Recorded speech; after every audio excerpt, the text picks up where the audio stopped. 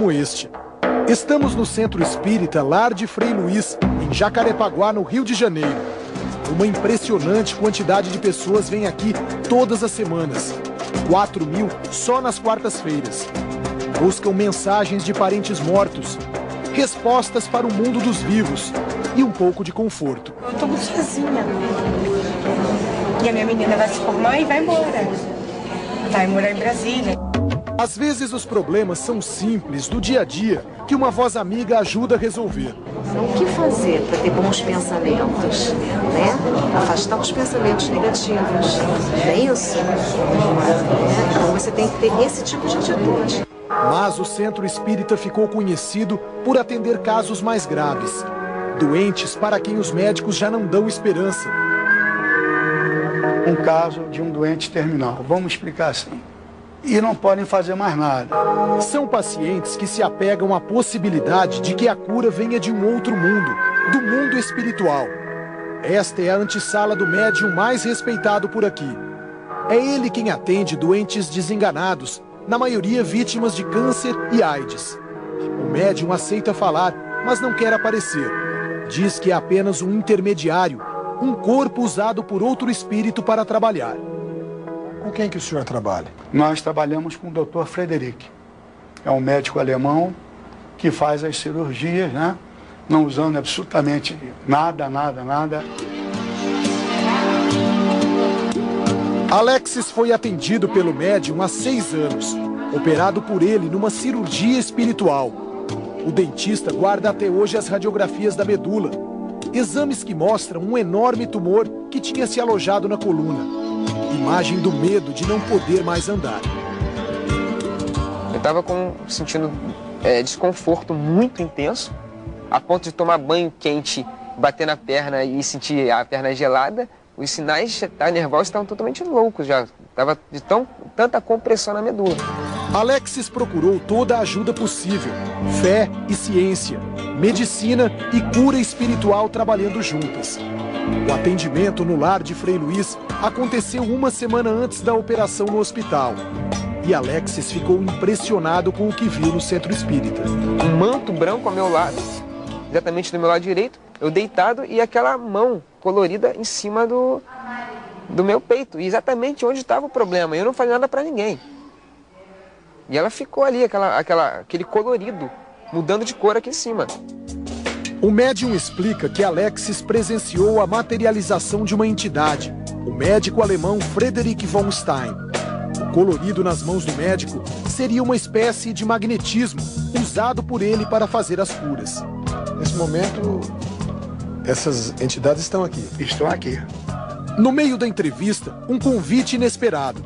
Se ele quiser passar pela pela uma prova só, que a gente não pode né, filmar nem nada, mas você deitaria aqui e aí o Frederico fazia uma retirada de carga do seu corpo físico. Não é cirurgia, não é tumor, nada disso. É somente uma retirada de carga do seu corpo físico.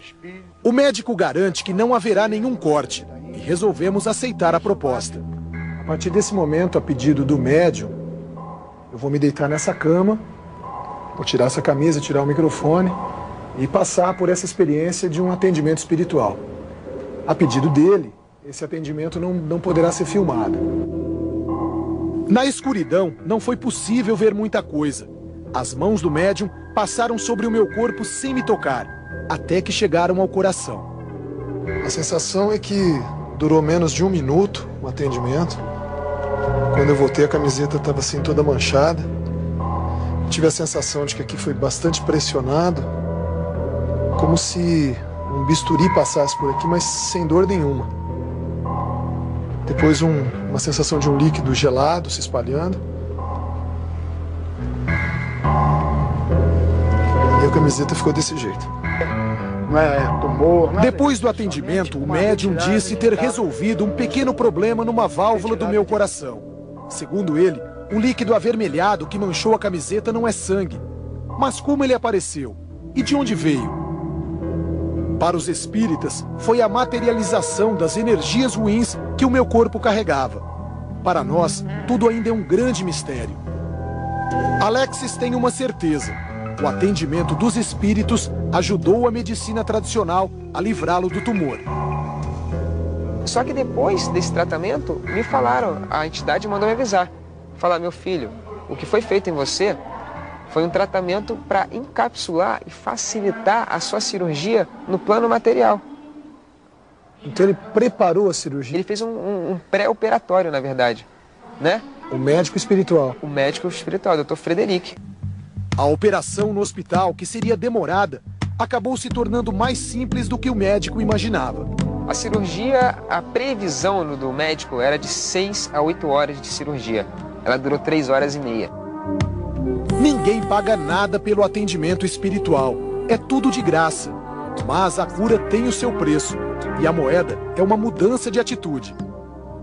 Ele terá que demonstrar né, para a espiritualidade que realmente houve uma modificação interna no seu espírito, na sua modalidade de ser, na sua vida íntima. E isso vai afetar cada vez mais que a cura se faça mais rapidamente. Senão, pode passar alguns meses e pode ter um retrocesso grande. A estimativa é que o Espiritismo tenha perto de 30 milhões de simpatizantes no Brasil. A maioria segue outras religiões, mas encontra na doutrina espírita solidariedade e esperança.